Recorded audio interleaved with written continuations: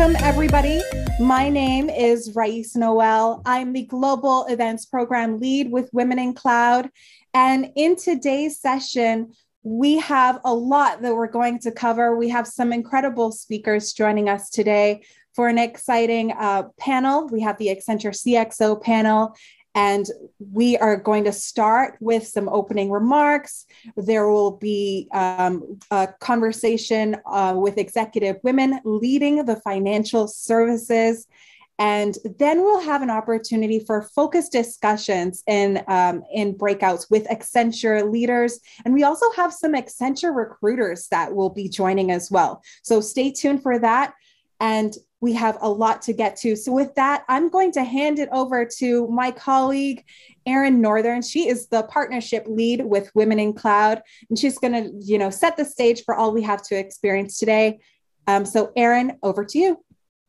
Thank you. Hello and welcome to the Women in Cloud and Accenture CXO series, where we elevate industry conversations to drive collective transformation around cloud employability and leadership topics. I am Erin Northern, Partnerships Lead with Women in Cloud. Our mission is to create a billion dollars in economic access for female tech entrepreneurs in partnership with Fortune 100 brands, corporations, and communities. We focus on three core areas. First, empowering female tech entrepreneurs through access and innovation to foster economic development. Second, building powerful partnerships with Fortune 100 brands, entrepreneurs, and communities to create an inclusive workplace through job representation. And third, driving nonpartisan political advocacy to advance policies that create and retain economic access for women. But as we all know and have experienced, the pandemic has caused an emerging global crisis for women due to many key factors.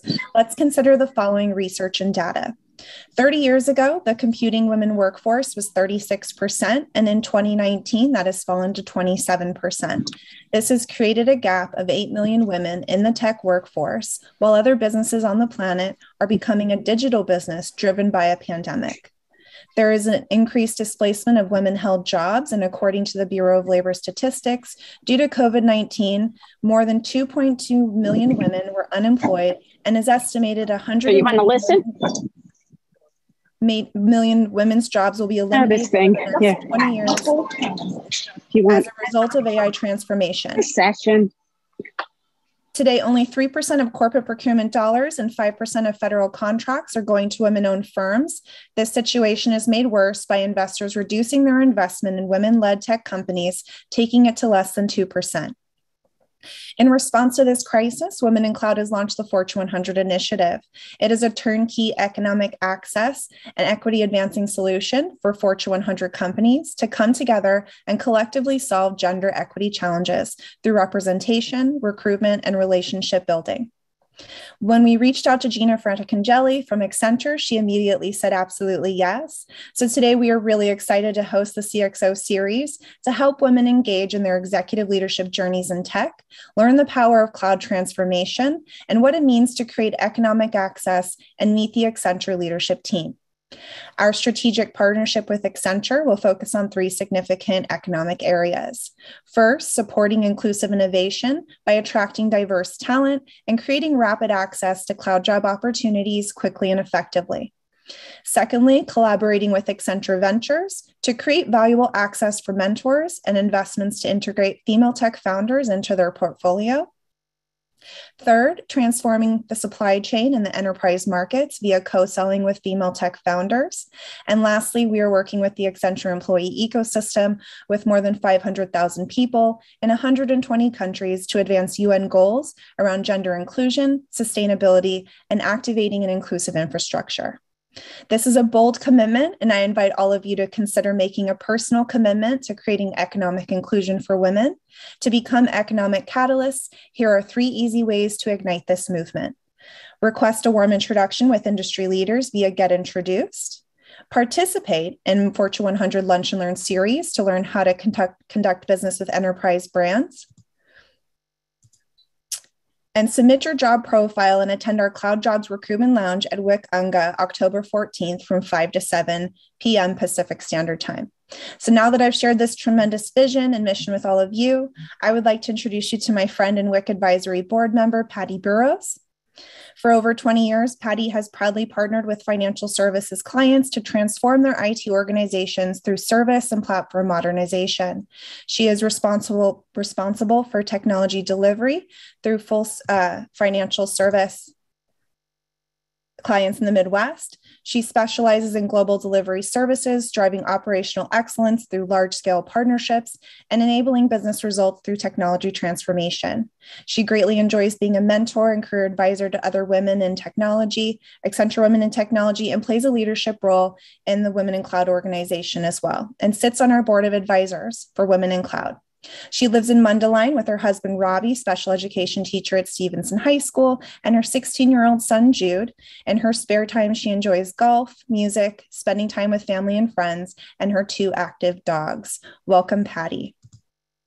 Hey, Erin, thank you so much. I appreciate that nice intro. Um, some staggering metrics that you shared with us earlier. Um, I just want to recognize the impact that you guys are making on these women. The Women in Cloud community overall is just so incredible um, the experience, your advice, your passion just really shines through in all that you do. And it's really been a true honor of mine to partner with you this year.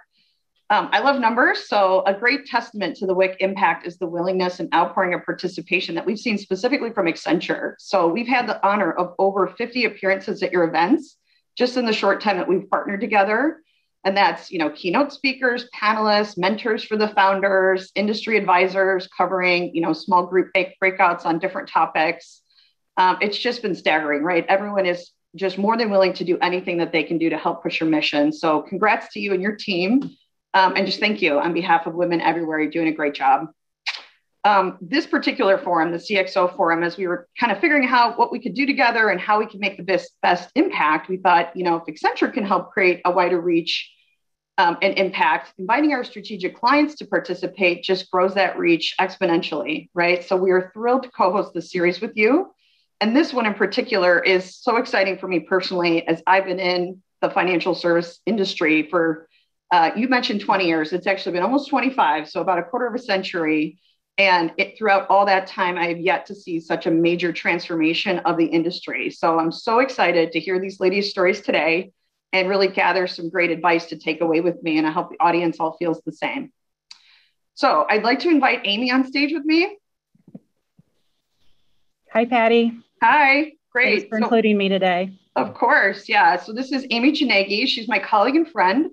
Um, she is a senior leader in Accenture's Cloud First practice and also has been supporting FS customers for the majority of her career. Um, she's also very active and passionate around creating opportunities for women within and outside Accenture. And it's my great pleasure to introduce her as our panel facilitator today. So, Amy, welcome. Thank you, Patty. I would love it if you could start off by sharing just a few of the ways that you are creating access for women. Sure, thank you. So, you know, as you know, I'm extremely passionate about growing our female talent, specifically at Accenture. Um, it's it's been my mission over the last few years to recruit, mentor, and grow our next generation of female leaders. And hopefully, the, a lot of you on this call will be those someday. Accenture has been a great place for me to build my career, and I've been extremely impressed with Julie Sweet, our CEO, and her commitment and results to building a gender diverse workforce. Outside of Accenture, I've been very proud to be on the National Advisory Council for NPower. NPower believes that well performing companies are made up of diverse workforces with clear pathways for success for all, including women. That's awesome. I recognize all the things that you're doing within Accenture to drive parity, and it's really exciting to hear about some of your other outside initiatives. So thanks for sharing that. Um, shifting a little bit to the industry focus, can you share with us any of your insights into maybe trends or commonalities that you're seeing within financial services around their transformation agendas or journey to cloud? Sure. So historically, financial services, in, in my mind, has been really a slow adopter to cloud, but really it's all, it's all changing right now. So things are really starting to get interesting.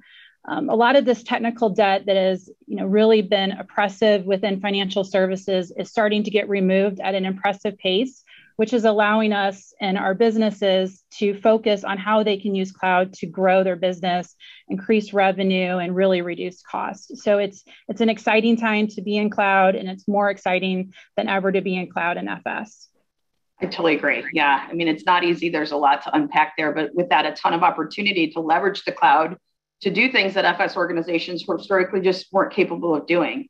right? I mean, data's always been the core of their business, but now they can use mass amounts of data at scale in real time and leverage different types of data that maybe they couldn't effectively use in the past images video things like that right? So i agree it's a very exciting time to be in fs and be in fs cloud. So um, great. Thanks for that amy. Without further ado let's get to our main event. I'll give you the floor to introduce our panel and just get things kicked off. Okay great so thank you patty and welcome to everyone i am really pleased to introduce our panel of inspirational women for today's discussion Let's start with Katinka. Katinka Wallstrom is the President and Chief Commercial Officer of Alight Solutions.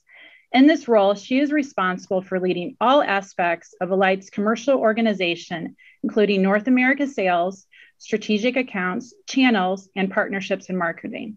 Prior to joining Alight, Katinka was the leader of Accenture's financial services practice in North America and a member of Accenture's Global Management Committee. As a former colleague of Katinka's, I can tell you she has been inspiring women her entire career, including this woman. Welcome, Katinka. Next, I'd like to introduce Sarah Schmidt. Sarah is the Chief Information Security Officer of Farmers Insurance. In her role, Sarah is able to nurture her passion for women in IT, especially security. Not only did she create the Farmers Women in Cybersecurity affiliate, but she mentors through the Council of Women in Technology engages in summer STEM programs for girls, and strives to grow, develop, and encourage women in the IT industry. Welcome to you, Sarah. From the Doctors Company Group, I'm happy to introduce Deepika Srivastava. Deepika is an SVP, Chief Information Officer, and Chief Information Security Officer at the Doctors Company Group, the nation's largest physician owned provider of insurance, risk management, and healthcare practice improvement solutions. Throughout her 17 year tenure with the Doctors Company, she has built a reputation for developing technology solutions which drive organizational agility, efficiency, and shape business strategy. Deepika is passionate about mentoring emerging women leaders and serves on the advisory board of Michigan State University's Actuarial Science Program. Pretty impressive. Welcome, Deepika. Our final panelist is Michelle Green from Discover Financial Solutions. Michelle is Discover's Vice President of Financial Systems and joined in 2019 to lead their cloud transformation. Michelle is known for developing and leading her teams to produce results and transform organizations by leveraging digital technology and data. Michelle is a technology enthusiast and channels this love into her involvement as a board member and treasurer for Lumity, a not for profit organization focused on breaking down barriers to STEM by providing teens and young adults from underserved communities with experiences to prepare them for lifelong STEM careers. Welcome to you, Michelle. Okay, now that the introductions are behind us, let's hear from you in your own words. I'm going to start with Deepika. Can you go ahead and share how you are leveraging cloud and more importantly, how the work you are doing in cloud is bringing excitement to your organization? Thank you for the wonderful introduction, and I'm really happy to be here. So, for TDC Group, our cloud transformation is multidimensional. We are engaged in end-to-end digital transformation and which in turn is creating a lot of excitement and agility for business now we recently completed two not one cloud hosted policy administration systems transformation it was challenging, but we got through it. And in doing so, we are continuing to build and more and more of our microservices, API led architecture on the infrastructure side.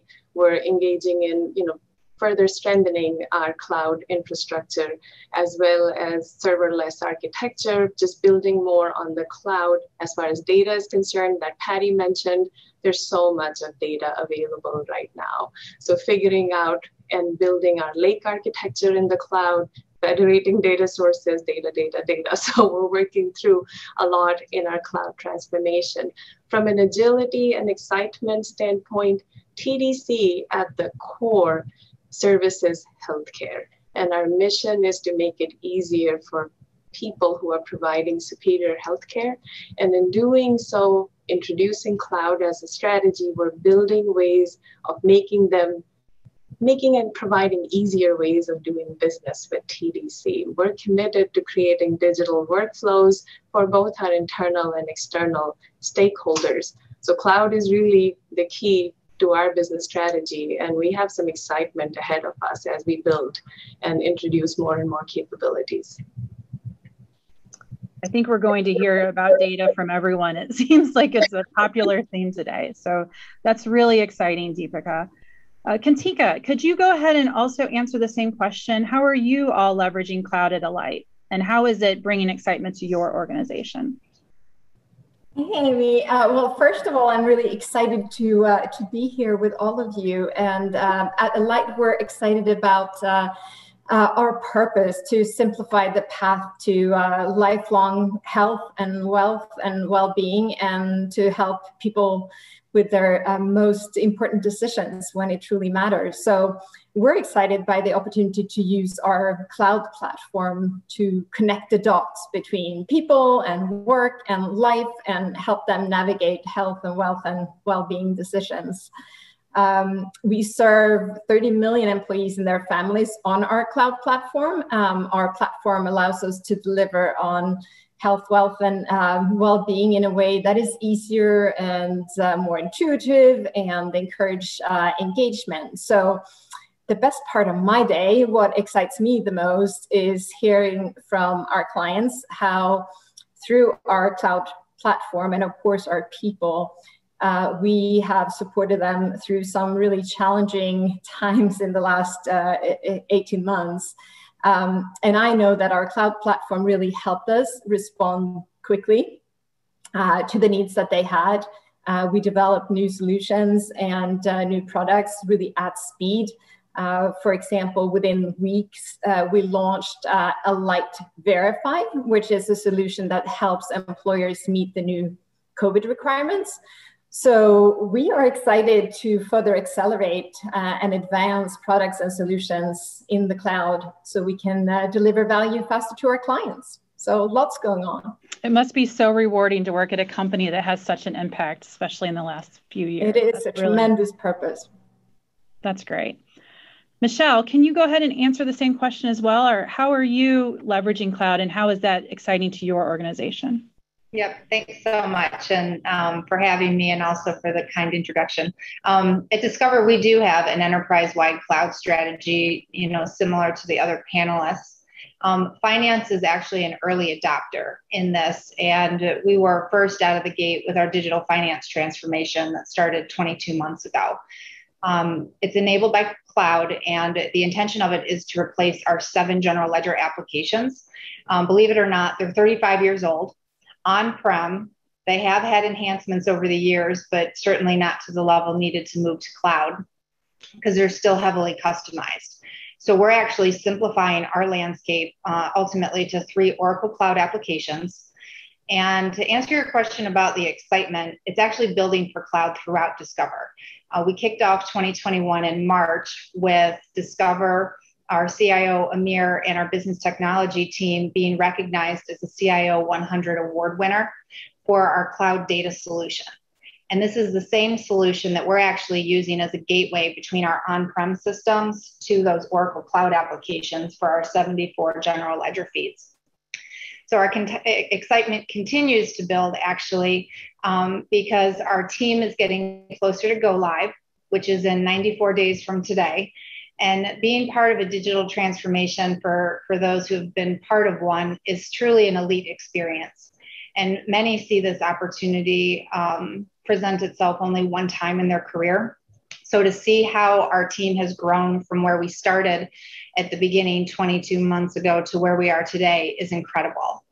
And then the other thing I just wanted to add for those who are thinking about doing a cloud transformation, um, before I joined Discover, I had met with the then um, CIO, the then CFO, and the then CAO, um, who have all moved on to other pastures. And each of them actually indicated that Discover did not do large programs well. Um, so I accepted that challenge, joined Discover to help architect the program and, and lead it, and invest in our next generation finance and technology leaders. And I am proud to share that our program team not only has evolved and grown over the last 20 or so months, but we've actually changed the sentence that Discover does do large programs well.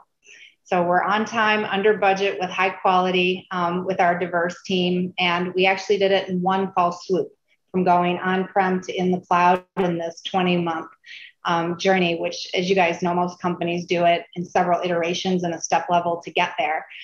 And then we've we've actually done it with our really strong partners uh, beside us along the way. You know, certainly thrilled to to be here with Accenture as one of our strong partners, and Oracle is our other one.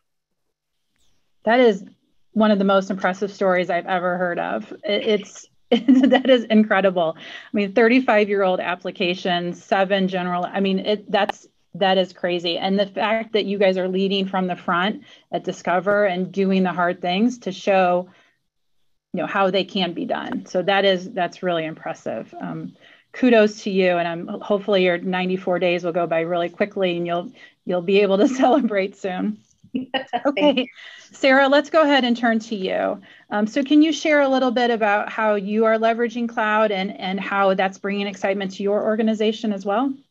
Yeah, absolutely, Amy. And thanks again for inviting me here. Super happy to be here today. And I saw a question come in on the chat already that said, that asked, why didn't FS use cloud? And I can't speak on behalf of all of financial services, uh, but Farmers is a little over 100 years old. So to mimic what Michelle was just saying, our technology is old the technical debt is real, uh, the resource debt is real, um, and, and what that looks like. And so we, you know, we're mid flight in what that journey looks like. And for us, the past couple of years, if you think about how insurance has been sold, traditional insurance has been sold the past couple of years, you walk into an agent's office, you sit down, you have a conversation. Well, that couldn't happen these past couple of years and so we had to we had to innovate and we had to think about how do you reach customers when they're sitting on their couch and not across from you at a table and we really looked to the cloud to be um, to be a value add there and help us to achieve achieve those goals. So while I'm not driving our cloud cloud programs, I'm doing my best to make sure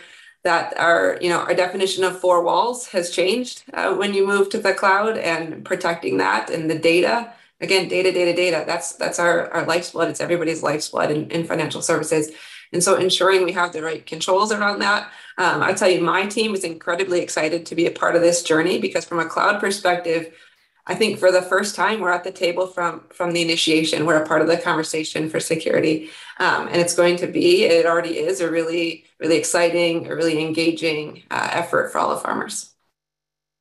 That's great. And I, I, love how you're showing that security can help enable the transformation transformation, but not block it because a lot of people see it as an inhibitor, but you're actually enabling. And, and I, I think that's that's really fascinating. Thanks, Sarah. Okay, so let's move on here. All of you women play very different roles within your organization around your cloud journey. Some driving the strategy, some enabling it. Katinka, how is Alight leveraging the cloud and data to drive differentiated business outcomes?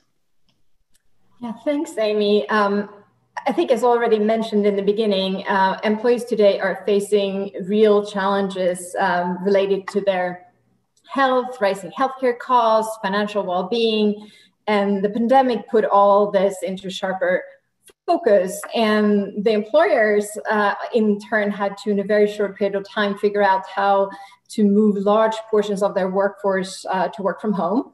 And for those who could not work from home, how to protect them, how to keep them safe, how to focus on well being. And as employers look to increase productivity and profitability and attract critical, critical talent, employees uh, needed greater flexibility and support. So it's all very complex. And um, to us, and I know for everyone here on the call, it became evident that companies that were more digital, that had more of their applications in the cloud, they were able to move much faster, both in terms of business models and also in terms of people models.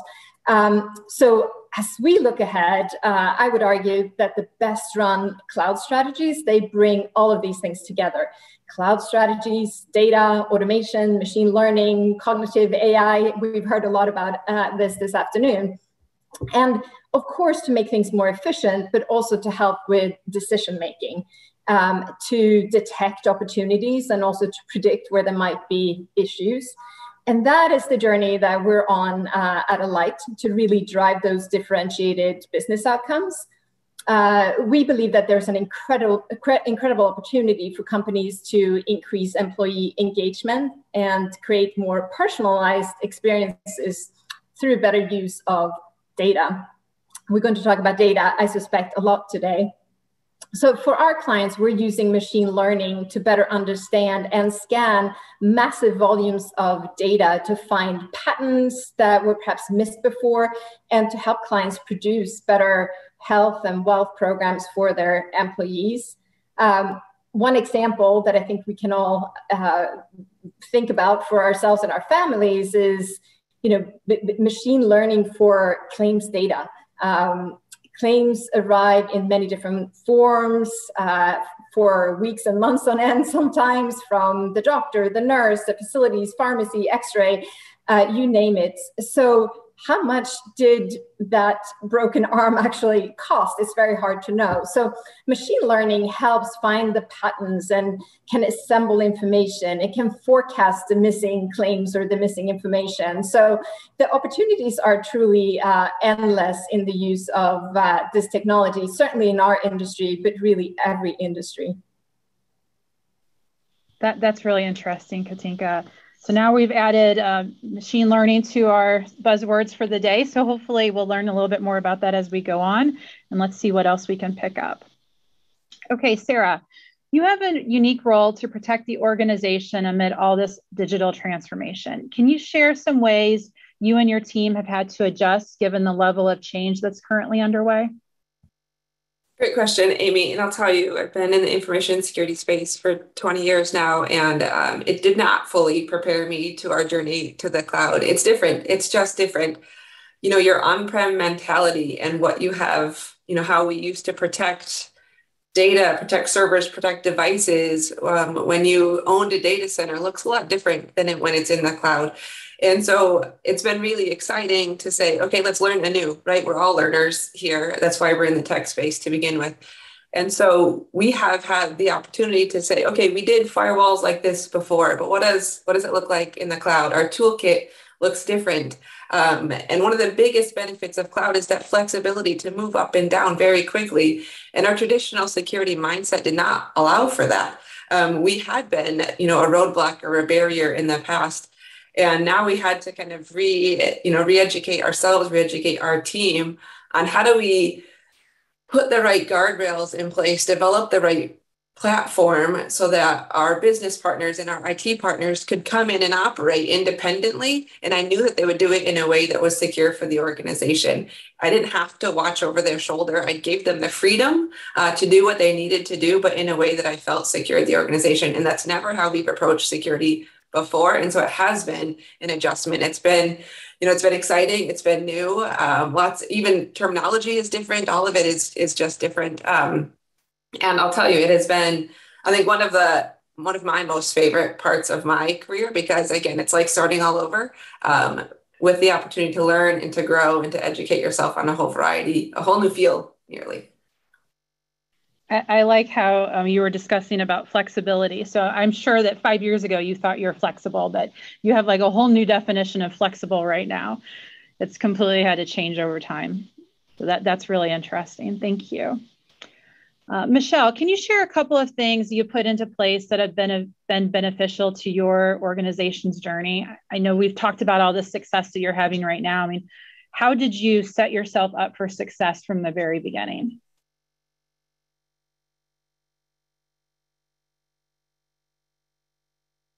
Michelle, are you, can you hear me? I'm so sorry. The one moment in this hour that the doorbell rings and the oh my goodness, I'm sorry. I'm sorry. That's real life right there. It is. Um, welcome to working from home during shelter in place. Um, to answer your question, and I love the, um, the comment that you just made a minute ago about the last five years it seems like the last five years, it actually seems like it's 25 years ago with as much technology advancement that's happened. And I would say, you know, the keys to our success, and I think this was one of the items that popped up in the chat too, is, you know, our diverse team, you know, honoring the enterprise culture shifts that I think a few folks have talked about, you know, having our transparent program governance in place And then the ones that I wanted to talk about, you know, for this conversation are just really addressing our unique cloud considerations early. Um, we actually did a four month data requirements and cloud assessment up front that just paid dividends for us. You know, Sarah talks a lot about the security, we talked about data. Some of the things that we found when we did our assessment, our scope for that was the data requirements, our integration between our cloud applications with our on prem landscape that's still going to be in place, and then what our cloud data solution needed to be to ultimately support those applications. And what we found was clearly security is um, foremost. And so we had to do two things for our finance data requirements. The first of which we needed to tokenize our data so that one, it's safe in the cloud, but then also our end users were able to use it for financial reporting and reconciliation purposes with ease. And then the second, which um, we haven't touched on here, but I do want to share with the audience that this is a significant level of effort in moving to the cloud, which is if your organization is going to go to the cloud, think about establishing your enterprise data standards up front because our organization was already going through that process.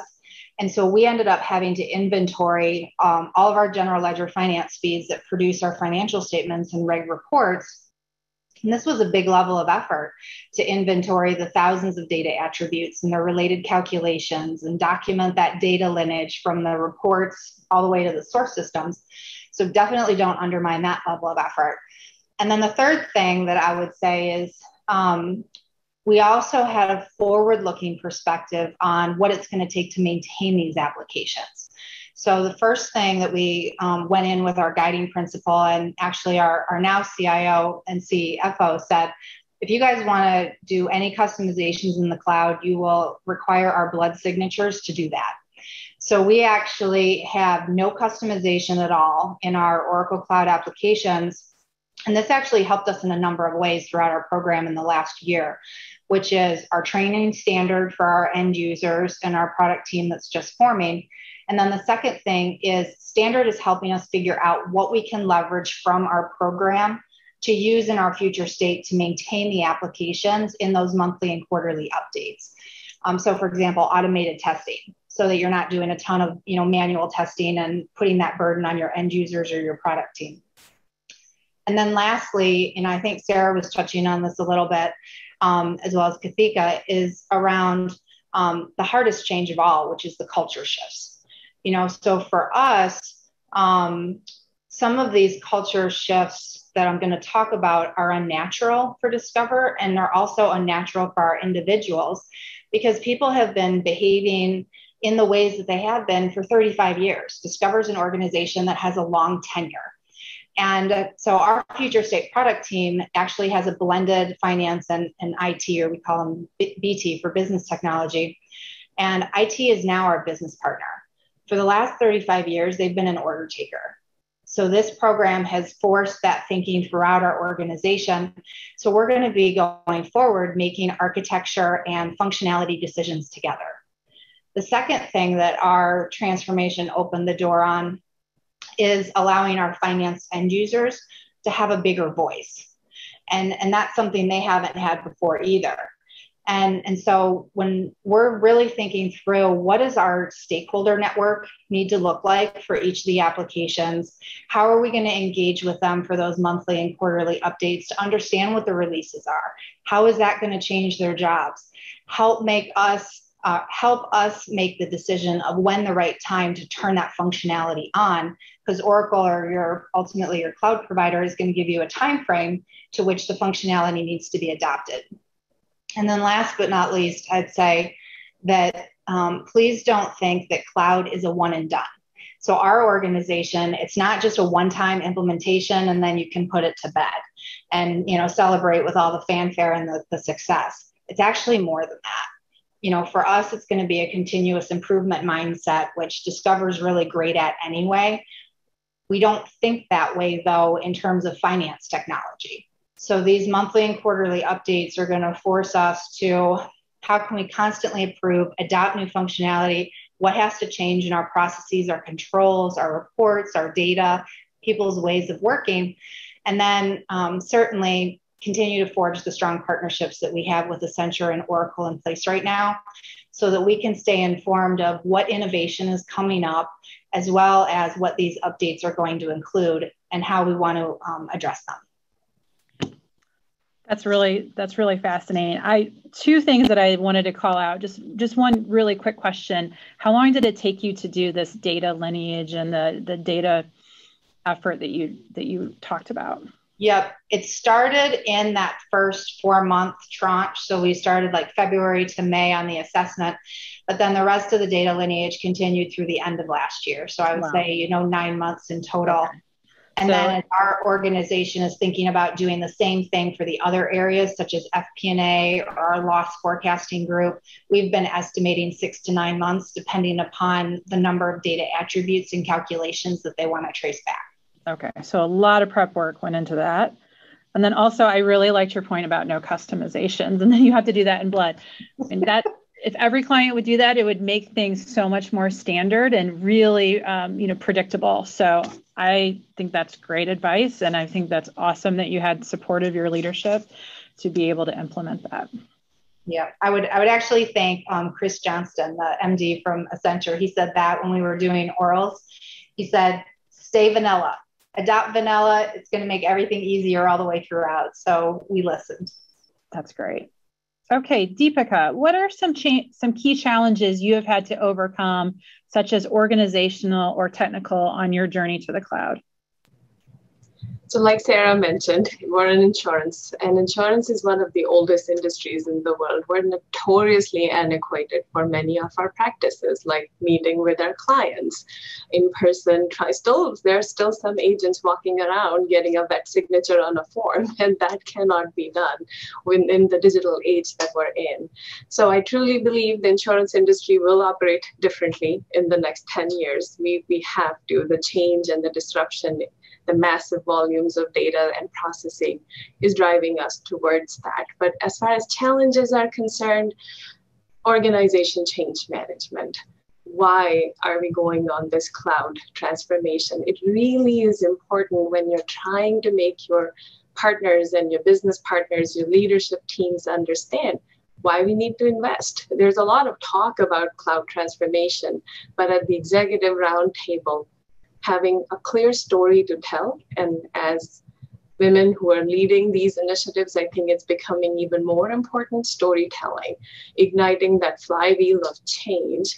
So, IT software is expensive. Any cloud transformation, any project you take is expensive. And a business has to make a decision Am I going to invest in this or am I going to invest in a different business strategy? So, uh, backing into it, it's the change management, it's other ladies in, in this panel have touched upon it, but the why is important, making sure you have a story that has a clear beginning, a good middle, and a great end. And middle becomes really important when you're in the middle of the execution phase because you're going to have multiple systems. You're going to have processes that you're supporting which are not completely automated. You're going to have frustrated customers who, you know, they, they're just frustrated. They don't want to be in two systems. So making sure that you can remind them of the context, the why around what we're doing um, really help. The other challenge I would say is time to market. We're in this Amazon delivery product mode, right? If I'm a business executive and I sit down or a customer, because we serve some large health systems, large hospitals, I order something on Amazon, it gets delivered on my doorstep next day. Now we're all IT professionals doesn't work that way. There's nothing that gets delivered on your doorstep that you can open and oh, look, it works for us. So setting the right expectations really helps us uh, sort of manage the delivery cadence, or else it's why isn't it done? And then just unwinding the spaghetti is difficult. So really having the change plan we've been doing some things for so long that to automate and to change, it takes a lot of effort. It takes a lot of reminding as to why it's important. So I would say from a challenge standpoint, that's, you know, those are some of the few things that come to mind. It is also important to select not just the right technology, but how you're going to scale it. Um, and again, having a clear vision really helps with that. I think that's really really important. And I also really like the point about setting clear expectations. So a lot of times, you know, I work with organizations who think that cloud is a silver bullet. So I'm going to implement cloud and then I'm going to have like all this amazing stuff happen to me. But you know, that's not that easy. You have to put the right operating model in place. You have to put the right checks and balances, the right security, understand how you're going to access the data. Like all of that stuff is really important. So you you want to make sure it's not people understand that you're working on this massive journey. Um, the other thing I was I was just laughing to myself. I was just telling someone the other day that you almost have to take a marketing class to be able to sell cloud to your organization because you really you, your storytelling is so important. You need to help them see where they're going to get to at you know at the you know at this final destination and, and you know as michelle said it's actually not final because you have to completely iterate as you keep going so thank you Okay, so Michelle and Sarah, as leaders in your industry, what do you want to be known for? This is a good question. I can start.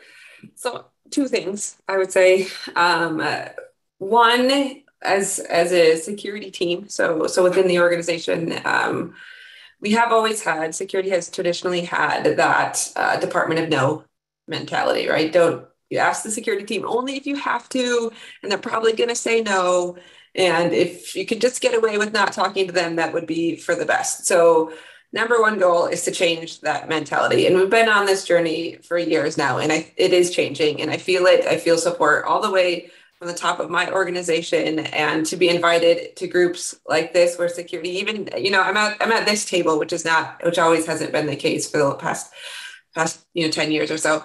Um, and so i think that's a big thing that i work on is just to, to be how is security an enabler? How are we making your project your effort your initiative more successful? How are we even being a differentiator uh, for the organization right? Knowing that being on the front page of the newspaper is a very bad day for many organizations. And so how can i do my part to to ensure that that doesn't happen um, for us? Because that will become you know you will customers will decide to not do business with certain organizations if they don't have a great security posture. I, I sense that coming. Um, so that's a big part is to, you know, kind of have security be at the table, be, be an enabler, be a part of the conversation and be a welcome participant. Um, and then more personally, um, I really want to be the behind the scenes someone that's grown the next generation. I have had amazing women that helped guide me to, to where I am right now. And I want to do that for the women on my team, for the women I mentor, for all of the women in technology, if I can individually meet every single one of them.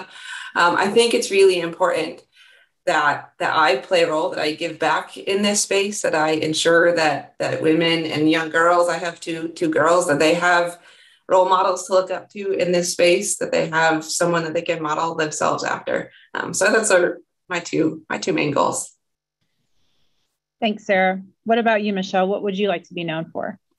Sarah i love your answer. Um, and the um, i guess the short answer for me is i'd love to be known for somebody that has taught the next generation of leaders how to do technology implementations and large programs the right way um, is a, a big one for me. And then also helping people embrace technology so that they can use it, get home to their families faster.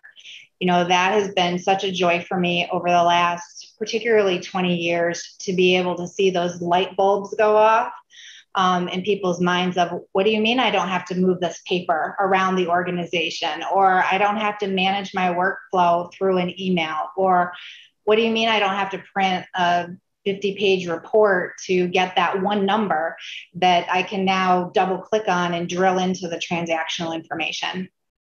You know and and then i would probably give a part two to my answer too because i know that we have a varied audience here from entrepreneurs to um, folks in the you know Fortune 100 as well as people at varying levels. And my answer would not have been the same, I think, in earlier stages of my career. You know, I think at the beginning of my career, I wanted to be seen as somebody that was either technically savvy, that also helped people, as well as somebody that might have been that go to person for subject matter expertise. And then mid career, my legacy statement, if you will, um, would have been somebody that was leading large teams to make positive impacts or results for companies so that they could you know expand market share or that they could have better cost management principles and and so now you know there's a um, a biblical passage of, in Esther about the older mature woman helping the next generation of leaders and and that's really what I want to grow into as I look at the the next 10 years. Thanks Michelle. Okay, Katinka and Deepika, let's discuss who influenced you along the way. Can you highlight some key mentors and sponsors that impacted your journey and how? you want me to start, Amy? Yeah, please. Okay. Um,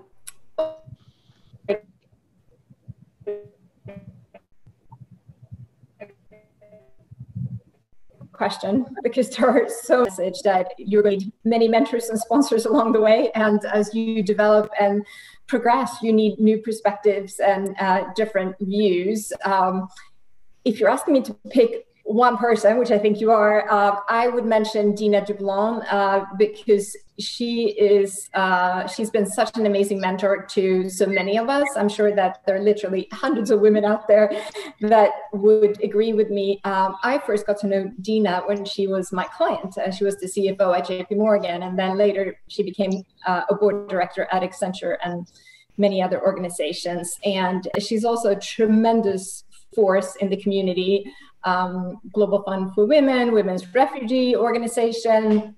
She was one of the first women on the trading floor. Uh, and uh, she would, uh, when I sat down and I would ask her for advice, she would always always push me to think about, you know, if I had an idea about a role, she would say, no, no, no, no, there's like 13 other ones that you should think about. So she always pushed me to, to think bigger and she really mentored everyone the same way. It didn't matter that she was actually a client of mine at one point, and then she was a director. Um, she really saw it uh, and still sees it as her mission to mentor the next generation uh, women. So an amazing, um, amazing mentor and uh, amazingly balanced too across career, life, community, um, family, all of that. Um, in highlighting Dina, um, I would say though that um, you, you, know you might listen to my story and say, well, that's really lucky that you, you got to um, be mentored by someone uh, so senior, such a senior woman. And I am absolutely extremely lucky. Um, but I would also say I spent most of my career in financial services, which is, uh, and certainly in the early days, was heavily male dominated. So most of my mentors were actually men and uh, you all know who you are if you're listening um, and uh, they were incredible too. So my advice would be not to get too caught up uh, with finding someone that looks and sounds exactly like you and has exactly your experience. That that's great feedback. What about you deepika? You know um, great advice there. And, you know, like Katinka, I've been really lucky. I've had some key mentors, sponsors, allies that have helped me get where I am today. Uh, you know, starting in my very early years, my mom, she's a strong Indian woman, and I grew up in India. And she always encouraged me. She would always say, break the unwritten rules for women in society and workplace. Uh, you know, they are there. And you have to figure out how to break them some great advice, particularly as I've started navigating and working through my uh, career. I'm then manager, a friend for life now. And she gave me some really interesting advice in one of our just one on one meetings. And she said, assumptions are problematic. And as I was thinking about this, um, often women, we have the right qualifications and we have the personal readiness to take on that next job, especially early in our career um, or a promotion. And assumptions are made about us, right? She's too nice. She may not want that job. Or she has a young family. You know, this new job would require a lot of travel. How would she manage that? Or she don't you know she doesn't want the promotion because she'll have to relocate. And all of those are fine. It is us who we should be making those decisions not unspoken assumptions in a room someplace deciding. So you know that really stayed with me and i try to encourage as i'm working with um, other women and people I'm mentoring to say, let's make sure that there are no assumptions about you. Uh, but I truly believe that some good mentors, sponsors, like Katinka said, I've had a variety of them, and, and a lot of them are men who've helped me get where I am today. So building a relationship, a network that can help you because you need them for different things at different times in your career is really important. I definitely wrote that down because I'm going to use that with some of the women that I mentor. Assumptions are problematic. So that's yeah, great advice. That was with me. okay, so we just have time for a couple more questions, and Deepak, I'm going to I'm going to stay with you for this one. As your organization pivoted towards adopting the cloud, what key actions did you drive for successful implementation and adopt adoption? You know, we've touched upon a lot of them, but I'll try to be quick in this is I will continue to say develop a strong business case for cloud. You really have to have your multi-year roadmap, your financial investments sort of figured out at the beginning, putting customer first as to why we're doing this. Uh, partnering with the right partners, you can leap, you know, as an organization, we were able to leapfrog because we had Accenture as a partner in one of our implementations. So, you know, bringing the right partners on so you could do things quicker and learn from other experiences really help. Um, Sarah has pointed on security for cloud, cybersecurity. I, I manage the security for TDC Group. It's a big risk we all live with, and engaging the right teams early on and architecting the right solutions uh, is really important. And last, I would say, build time in your plan. Uh, take the time because, you know, just turning it on overnight it's not going to happen. We take years you know to sarah's example 35 years for discover. Your processes have been set. To change them it will take time. To redevelop your applications will take time. To introduce new business processes will take time. So it's important to make sure that your plan has accounting for work that needs to be done as you're developing applications. And finally i would end with talent it is a top priority. None of the work we want to do can be done without talent. So we're in this discussing, and you have more opportunity after this from a recruitment standpoint. But talent is a priority for us. Maintaining and attracting good people is key to success. Okay, great. And then I'm just going to do one more wrap up question before we we break into the the breakouts. Um, Sarah, Michelle, or Katinka, would you have any advice to women who are trying to break into the cloud space and you know how how you know what would they need to do in order to really make an impact in, within cloud? Amy, I'm I'm happy to start. Um, I guess what I would say is, how could you not consider uh, a career in technology and cloud right now? Uh, so that would be my my my first uh, comment. Um, every business is a tech business today, so uh, don't assume that you're going to sit at a desk coding all day. Um, whether you dream of working for the Red Cross or Tesla or the World Bank, uh, everyone needs a technologist. So, so, so keep that in mind. Um, every company is a tech company. Um, it can be a great and you know pretty flexible um, career too. If you think about a lot of the companies, tech companies, even pre-pandemic, they offered quite flexible hours, uh, flexible locations, all that. Um, so it's a great career if you want to balance life and interests and family and, and all of that. And from an educational perspective, a lot of companies today are hiring technologists that don't have the traditional four-year career. They're hiring that hiring them because of specific talents and, and skills that they have. And you know, it is one of the fastest growing industries. And I always think it's good to be in a place that is growing fast. Perfect. Thank you. If I if I can, Amy, I'd love to add on to Go that um, because I think one thing that that she's she mentioned was fantastic. There is a space in technology for anybody. Whether you know, we kind of joked earlier about you need a marketing degree. We hire people with marketing degrees because communication, IT communication is important. Change management is important. There is a space for whatever background, whatever skills you have. We can find the right fit for that in technology. Um, and so I think it's fantastic to know that you don't have to have a four year IT degree. Whatever you're good at, we can make use of that in technology, especially in the cloud. Yep. And maybe just a quick closing thought on that is, um, Sarah, I loved what you said earlier about um, continuous learning.